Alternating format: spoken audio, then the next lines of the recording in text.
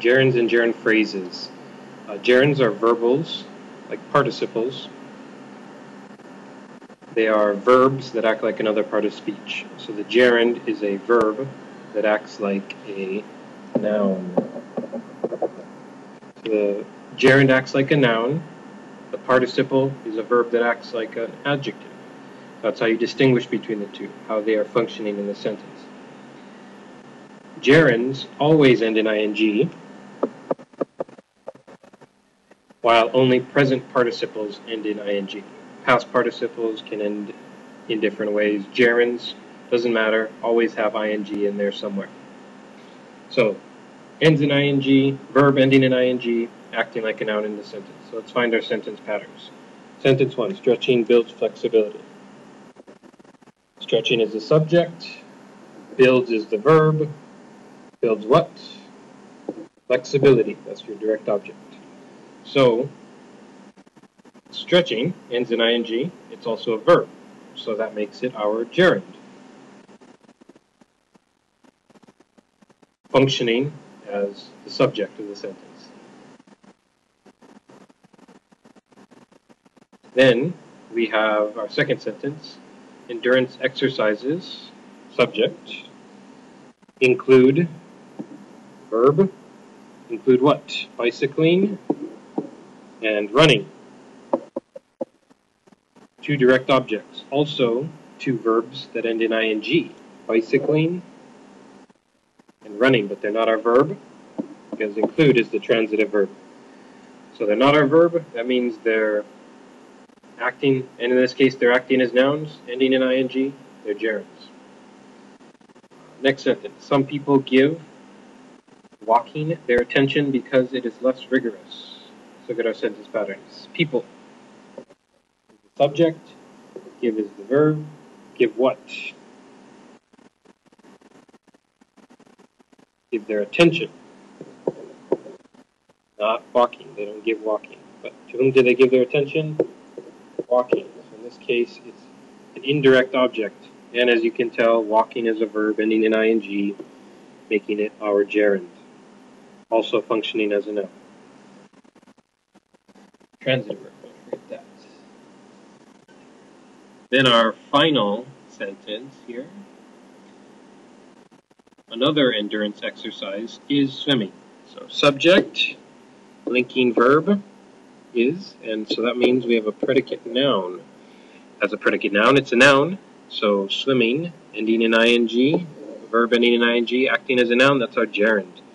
So there are some things that nouns nouns function in a certain way in the sentence. So you've seen some of them.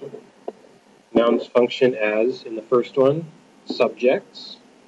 Second one, we had some direct objects. Third one, indirect objects. Last sentence, we had predicate nouns. Um, now, we're missing some. They can also be objects of the preposition. We'll see that in a later sentence maybe an appositive, but none of our sentences today will focus on that. So let's move on to the next slide. Look at some gerund phrases. Oh, here's the object of the preposition. Right here. So find our sentence pattern. Exercise subject should be accompanied is the verb. Intransitive, direct object. This is a prepositional phrase. And I have eating here in italics. You already know that's the gerund because it's eating is a verb ending in ing. But in this case, it's the object of the preposition. Just to get a little bit ahead, um, gerund phrases, just like participle phrases, any verbal phrase, includes three things. The verbal, in our case the gerund, so the gerund, any modifiers, and any complements. So, proper describes eating, so that would be the whole gerund phrase, functioning as the object of the preposition. Second sentence, we have an appositive, so let's for our sentence pattern. Even a regular routine, routine is a subject, can make, verb, make what? The difference, direct object. Between a healthy and unhealthy body, that's our prepositional phrase. So the only word ing, sleeping, is our appositive that's renaming routine. In this case, functioning, our gerund here is functioning as an appositive. Let's look some more with gerund phrases. So we have gerund with a complement. First one, chasing is our gerund, ending in ing, chasing what? Ball. Direct object. That's our subject. So our subject is this whole phrase over here. That's our phrase, chasing a ball, subject. And we have our linking verb. One is a predicate. Then we have oh, my dog's favorite activities. Prepositional phrase. So gerund with adverbial phrase. This one, just um, a it's just a prepositional phrase acting as an adverb. So let's find our sentence pattern. Subject, can is a verb, can, can catch. Ooh, catch is a verb. You can catch what? The ball, direct object. So this is a transitive verb with the helping verb over there. Can catch the ball. How can he jump, catch the ball? By jumping into the air. So this is our prepositional phrase, but gerund, jumping, is acting like object of the preposition. But it's got this other prepositional phrase inside of it, describing it into the air. So jumping into the air, that's the object of the preposition. So this whole thing is the object of the preposition. And way over to the end. I don't know how to do that, but that's right. Whole thing's the object of the preposition. Last one with some adjectives. So his catching the ball is our gerund phrase. Here's our gerund.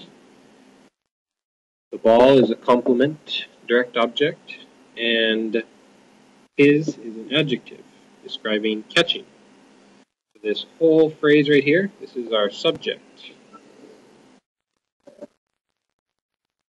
Is catching the ball. Is rewarded. It's our verb. With a biscuit. Prepositional phrase. Okay, gerund phrases. Last slide. There are some other weird gerunds perfect gerunds. They're not that different. They still act like nouns. They still have ing at the end.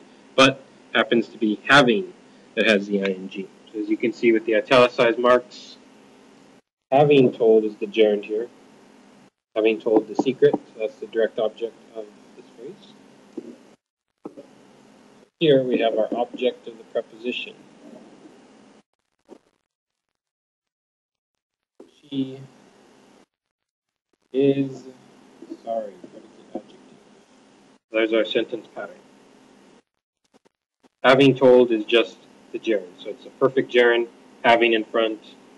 So if you want to look for perfect gerunds, look for having. Whereas the second one, just a regular present gerund. Telling the secret the subject.